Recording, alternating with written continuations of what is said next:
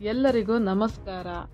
ಇತ್ತೀಚಿನ ದಿನಗಳಲ್ಲಿ Kannada Bigg Boss ಸಖತ್ ಕ್ರೇಜ್ ಹುಟ್ಟು ಹಾಕಿದೆ ಈ ನಡುವೆ ಒಂದು ವಾರವೇ ಮುಕ್ತಾಯಗೊಂಡಿದ್ದು, ಮೊದಲ ಎಲಿಮಿನೇಷನ್ ಮೂಲಕ ಯಮುನಾ ಶ್ರೀನಿಧಿ ಅವರು ಬಿಗ್ ಬಾಸ್ ಮನೆಯಿಂದ ಹೊರ ನಡೆದಿದ್ದಾರೆ ಬಿಗ್ ಬಾಸ್ ಕನ್ನಡ ಹನ್ನೊಂದು ಕಾರ್ಯಕ್ರಮದಲ್ಲಿ ಸ್ಪರ್ಧಿಸುತ್ತಿರುವ ಕಿರುತೆರೆ ನಟಿ Mokshitha pi.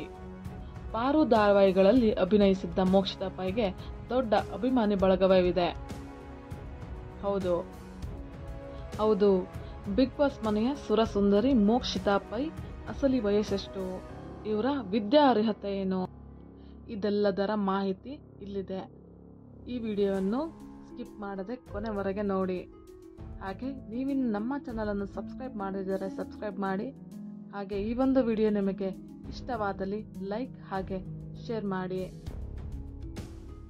Big boss Kannada ಹನ್ನೊಂದು ಕಾರ್ಯಕ್ರಮದಲ್ಲಿ ಸ್ಪರ್ಧಿಸುತ್ತಿರುವ ಕಿರುತೆರೆ ನಟಿ ಮೋಕ್ಷಿತಾ ಪೈ ಪಾರು ಧಾರಾವಾಹಿಗಳಲ್ಲಿ ಅಭಿನಯಿಸಿದ್ದಾರೆ. ಹಾಗೆ ಅವರಿಗೆ ದೊಡ್ಡ ಅಭಿಮಾನಿ ಬಳಗವೇ ಇದೆ. ಬಿಗ್ ಬಾಸ್ ಮನೆಯಲ್ಲಿ ಮೋಕ್ಷಿತ ಪೈ ಸೈಲೆಂಟ್ ಆಗಿದ್ದು, ಟಾಸ್ಕ್ಗಳಲ್ಲಿ ಉತ್ತಮ ಪರ್ಫಾರ್ಮೆನ್ಸ್ ನೀಡುತ್ತಿದ್ದಾರೆ.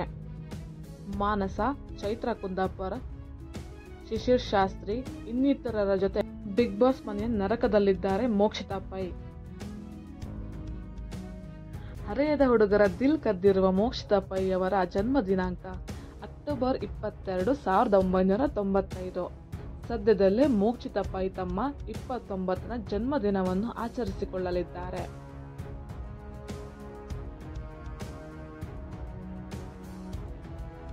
ಮೋಕ್ಷಿತ ಪೈ ಮೂಲತಃ ಮಂಗಳೂರಿನವರು.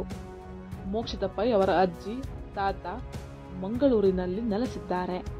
ಅಪ್ಪ, ಅಮ್ಮ ಬೆಂಗಳೂರಿನಲ್ಲೇ ಸೆಟಲ್ ಆಗಿರೋದ್ರಿಂದ ಹುಟ್ಟಿ ಬೆಳೆದಿದ್ದೆಲ್ಲ ಬೆಂಗಳೂರಿನಲ್ಲೇ.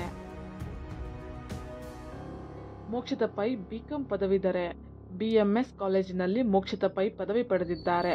ವಿದ್ಯಾವಂತ ಆಗಿರುವ ಅವರು ನಟನೆ ಆರಂಭಿಸುವ ಮುನ್ನವೇ ಮನೆಯಲ್ಲಿ ಮಕ್ಕಳಿಗೆ ಟ್ಯೂಷನ್ ಪಾಠ ಹೇಳಿಕೊಡುತ್ತಿದ್ದರು.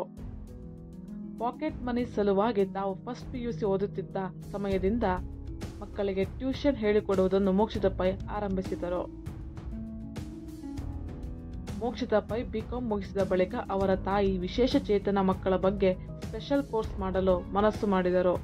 ಆಗ ಅಮ್ಮನಿಗೆ ಬೆಂಬಲವಾಗಿ ನಿಂತು ಎರಡು ವರ್ಷಗಳ ಕಾಲ ಆಟಿಸಂನಿಂದ ಬಳಲುತ್ತಿರುವ ತಮ್ಮನನ್ನು ಮೋಕ್ಷಿತ ಪೈ ನೋಡಿಕೊಂಡರು. ಹೀಗಾಗಿ ಮೋಕ್ಷಿತ ಪೈ ಬಿಕಾಂ ಬಳಿಕ ಓದನ್ನು ಮುಂದುವರಿಸಲಿಲ್ಲ. ಅವರಿಗೆ ಫ್ಯಾಷನ್ ಡಿಸೈನಿಂಗ್ ಮಾಡುವ ಆಸೆ ಇತ್ತು. ಆದರೆ ಅದು ಈಡೇರುವ ಮುನ್ನವೇ ಪಾರು ಸೀರಿಯಲ್ನಿಂದ ಅವಕಾಶ ಹುಡುಕಿಕೊಂಡು ಬಂತು. ಪಾರು ಮೂಲಕ ಕನ್ನಡಿಗರ ಮನೆ ಮಾತಾದ ಮೋಕ್ಷಿತ ಪೈ ಈಗ ಬಿಗ್ ಬಾಸ್ ಮನೆಯಲ್ಲಿ ಲಾಕ್ ಆಗಿದ್ದಾರೆ.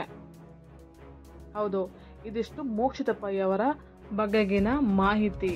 ಇನ್ನಷ್ಟು ಬಿಗ್ ಬಾಸ್ನ ಅಪ್ಡೇಟ್ಗಾಗಿ ನಮ್ಮ ಚಾನಲನ್ನು ಸಬ್ಸ್ಕ್ರೈಬ್ ಹಾಗೆ. ಈ ಒಂದು ವಿಡಿಯೋ ನಿಮಗೆ ಇಷ್ಟವಾದಲ್ಲಿ ಲೈಕ್ ಹಾಗೆ ಶೇರ್ ಮಾಡಿ.